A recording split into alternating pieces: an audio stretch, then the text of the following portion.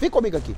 A Polícia Civil de Minas Gerais, por meio da equipe da Delegacia de Timóteo, realizou na manhã dessa terça-feira a operação conjunta com a Polícia Civil do Pará, dando cumprimento a mandado de prisão preventiva expedido pela Justiça Paraense. O alvo é suspeito de aplicar golpes em mais de 100 vítimas. Mais de 100 vítimas em um esquema fraudulento de vendas de casas populares. Ah, eu, ninguém aguenta isso, né? Ele já começa que casa popular não, não é vendido, né? É do governo, é do governo federal, é programa de habitação. É, Gisele, você vai me contar sobre isso aí.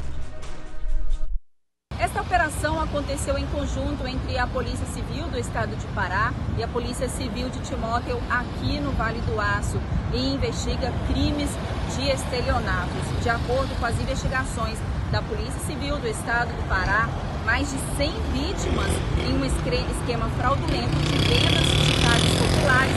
Segundo as investigações, essas vítimas elas eram atraídas em uma igreja evangélica e supostamente teriam pessoas envolvidas aqui da região do Vale do Aço. É, na operação já foram presos outros, outros envolvidos, outros supostos envolvidos neste esquema fraudulento em vários estados do Brasil.